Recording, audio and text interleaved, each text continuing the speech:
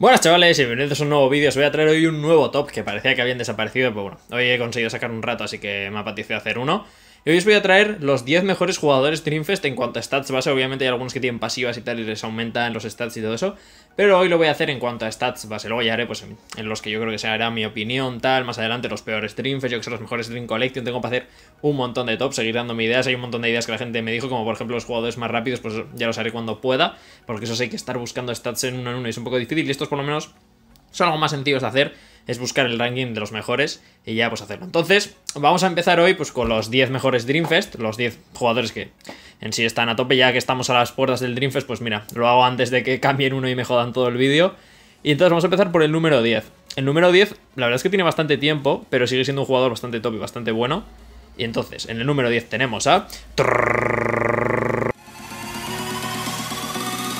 En el puesto número 10 tenemos a Santana Dreamfest, prodigio de la canariña, eh, los puros brasileños. Brasileiro, sopa de un macaco, una delicia. Entonces tenemos a, Santana. Salió hace, en el mundial, o sea, salió hace un año y pico.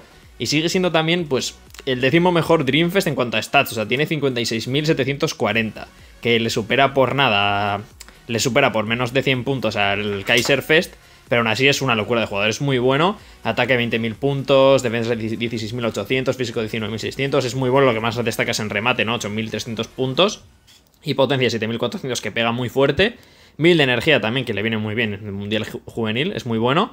Eh, lo bueno de Santana también es que realmente en balón alto no tiene nada, pero en balón bajo tiene bueno, así que si le puedes meter un, pues no sé si tienes la volea, ballesta, lo que sea, tal, algunas cosas de estas, ese pues puede hacer mucho daño. Y lo malo del jugador que traía es que el tiro era bastante malo, era de lo peor de los tres Santana. Aparte que tiene un momento bastante flojete, 465. A ver, 465 no está mal, pero piensa que los top, que los tiros tops ahora hay tiros de 490 de potencia y tal, no sé qué. Y estos pues se quedan un poquillo más atrás. Y gasta también bastante, 475, y no tenía ningún tipo de efecto especial. Cuando Santana tiene un montón de tiros de que sacan volando, que no pierde fuerza de lejos, tal. Era la, la cosa, que el tiro era de los peores que había para Santana, de los menos útiles. Luego, pues la Team Skill de desarrollo de los titanes de destreza. Enlace afinidad destreza se mete un más 10 si juegan un equipo verde, así que está bastante bien. Y luego, pues os traía el dúo de ensueño de Brasil, que lo hacen. Era Santana con Natureza. Santana y Natureza. Y luego el tiro combinado doble, que era la bola que traía, pero hombre, si no es una S tampoco sirve mucho. Para mí es el mejor Santana, yo creo. El rojo del momento, pues no está mal, pero ya se queda un poco ahí porque es tirar y ya está, o sea, si se queda sin tirar y ya está. Y este en cambio era bastante útil porque no andaba mal de stats y luego encima si le pasabas la pared, eh, el fútbol brasileño, tal, no sé qué, daba bastante juego y era bastante bueno. A mí ya me gusta, me parece que es un buen jugador y pensar que se le hace un, un año y medio, así que aún sigue estando ahí, ni tan mal.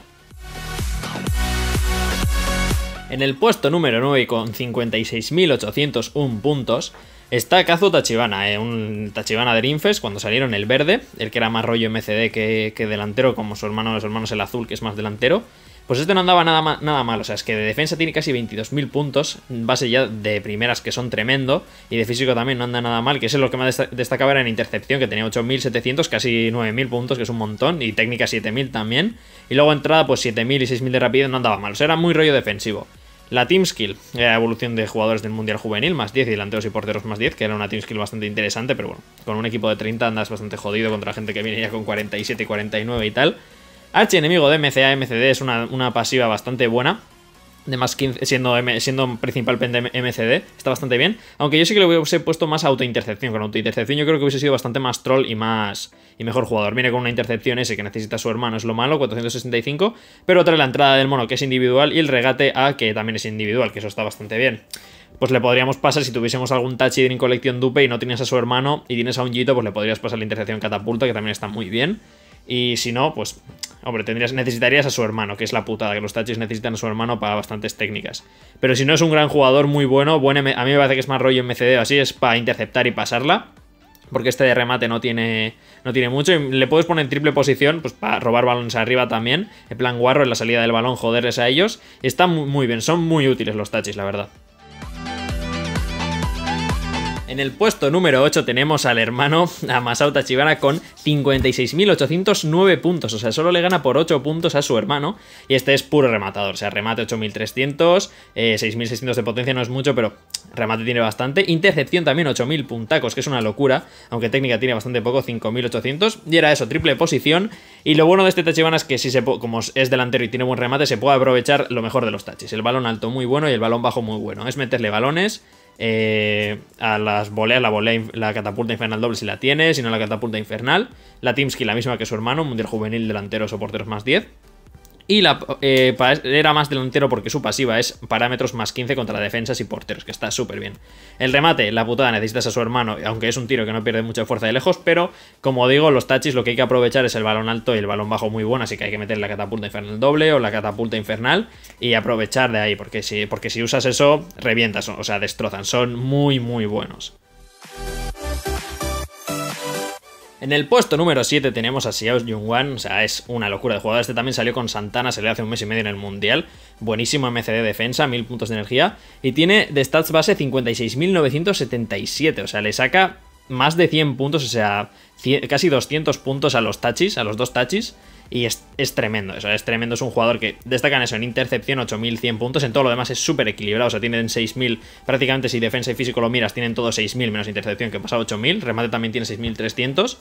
Y luego tiene, pues eso, 1000 puntos de energía que le viene muy bien. Clasificatoria de Asia. Agilidad más 10 de la, la, Team Skill, que bueno, era de la época, así que ya poco. Luego con afinidad se metía un más 10%. O sea, era para usar en un team azul, se metía un más 10 también, que es que se notaba un montón.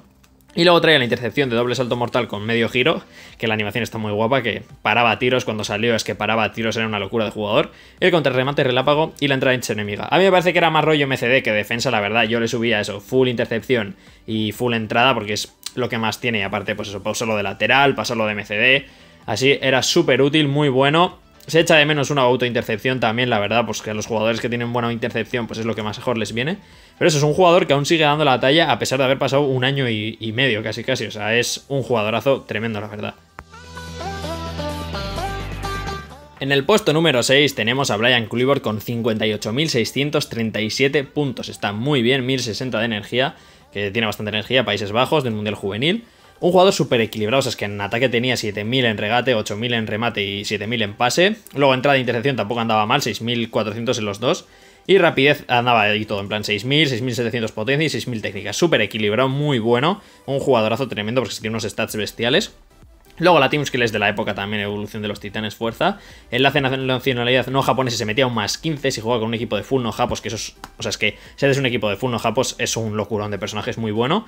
Viene con un tiro tremendo, o sea, 490 de, de momentum es un, tiro muy bueno y encima no pierde fuerza aunque se ejecute de un ángulo estrecho. Eso le viene súper bien porque en un equipo...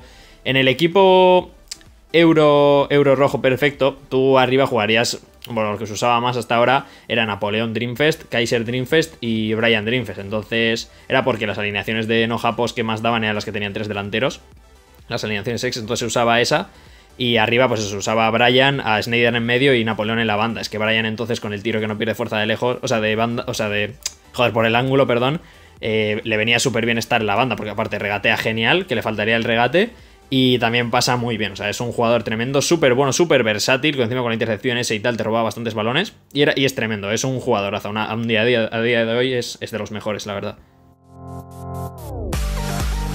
En el puesto número 5 tenemos uno de los jugadores más odiados del juego, yo creo, porque es que a todo el mundo, quitando a hoy con la robesquieta, el otro, el otro tío que nos trae de cabeza es este, el Suasa Dreamfest azul que sacaron. Campo de sueños, es un jugador tremendo, o sea, es que es una locura. 58.647 de puntos, tiene 10 más de puntos de stats base que, que Son prácticamente iguales, 1089 de energía. Y este también era como, se parece bastante a Brian, tiene menos tiro, es verdad que tiene menos en... Es menos más, más, equilibrado, 6.400 de regate, 7.600 remate, pase 6.600, entrada 6.700, intercepción casi 7.000, rapidez 6.000, potencia 6.700, técnica 6.500, súper, súper, súper equilibrado, que encima si juega con todo japonés se mete un más 15, que es una locura, o sea, luego también tiene la team skill eh, de la época, ¿no? Azul es más 10, y lo que trae es y, y, la joya de la corona es el paracaidista. El tiro paracaidista es uno de los mejores tiros del juego. 490 de momentum es tremendo y no pierde fuerza de lejos. Gasta mucho, gasta 500, es lo malo. Luego también venía con la, con la pareja de oro, con el dúo de oro ese, que está muy bien, y el pase con efecto. es un jugador tremendo, o sea, es que un montón de gente le hemos sufrido, es buenísimo, es buenísimo en todo, es que la cosa es que es equilibrado en todo, ya veis que sus stats, que, en, todo es súper equilibrado, y aparte, aunque no parezca que tenga un tiro tan bueno dentro del juego, al final alcanza unas stats bastante majas y el tiro que tiene gran momento y encima lo de que no pierde fuerza de lejos acompaña muchísimo. Un jugador buenísimo, a mí me encanta, me parece, es que es súper versátil, súper tremendo y muy bueno la verdad.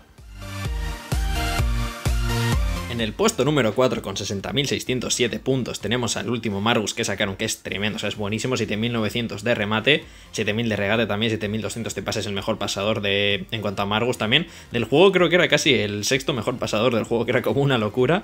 Y luego aparte también hay que tener en cuenta que tiene balón alto muy bueno, así que en cuanto a remates de cabeza era el mejor, 9.000 de potencia, 8.400 de técnica, era una pasada, o ha salido un jugador buenísimo el último de Ninfes que tuvimos. 1014 de energía es un montón, o sea, es que tiene unos puntos es tiene unas stats bestiales, es una locura, es un jugadorazo tremendo.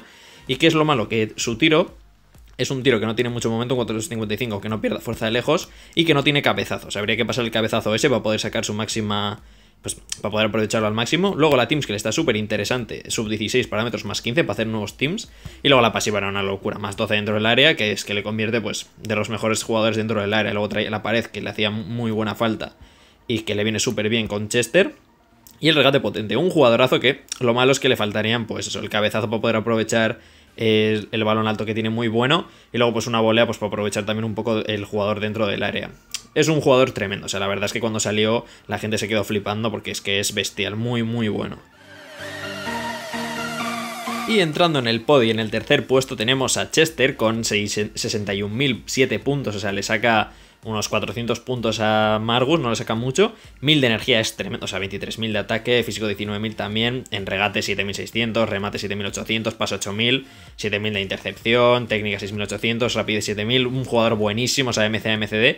Más MCD para aprovechar su pasiva que tiene, que es de amo del medio campo, más 12, porque si es de MCA, a veces se va muy arriba y pierde la pasiva, pero si no es un jugador buenísimo, o sea, tiene la misma team skill que, que Margus, más 15 a sub 16 tremendo. O sea, el regate es la entrada y el pase A que trae, le faltaría una intercepción y ya está, es que solo sirve para eso, para regatear, para interceptar, para hacer entradas y para pasarla. Luego también no tiene mal remate tampoco, que no le llega mal, pero es que no es un jugador de remates, o sea, Chester, conseguir un tiro con Chester o tienes el tiro técnico mellizo alguno de esos o ya está, le puedes pasar la vaselina A que sirve pues para despejar y tal y que no pierde fuerza de lejos, que está muy bien.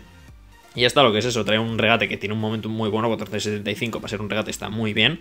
Y es un jugador tremendo, un super creador de juego y también destructor de juego, muy bueno. Y eso para el euro rojo le viene perfecto, la verdad.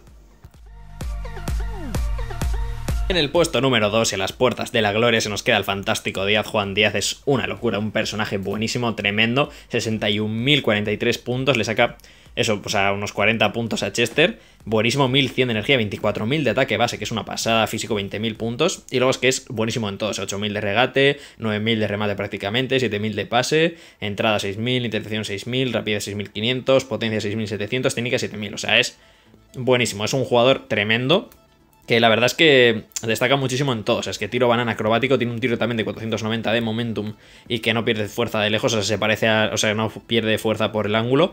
Es como el de el del Brian Dream, o sea, el Brian Dreamfest, perdón. Evolución de los titanes, la team skill, o sea, suma americanos más 10 o delanteros porteros más 10.